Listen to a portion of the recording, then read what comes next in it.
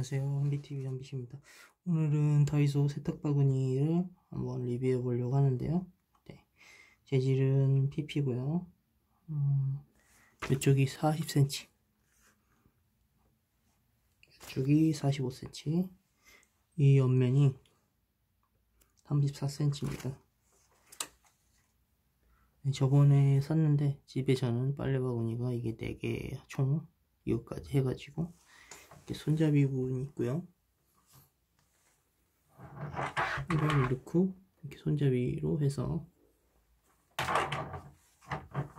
가지고 가면 편하고요. 또 밑에 바퀴가 있습니다. 바퀴가 있어서 끌고 가도 무난하죠. 저는 이불 빨래를 많이 하기 때문에 이불 하나 넣으면 다 꽉 차요. 그래서 여러 개 필요해 가지고. 뭐 가격도 그렇게 비싸지 않아서 그냥 샀습니다. 4개죠 총집에. 네. 음, 여기까지 한비TV의 한빛이었고요. 어, 디자인이 꽤 괜찮습니다. 흰색이고 무난하고요. 어, 다음 시간에 또 뵙도록 하겠습니다.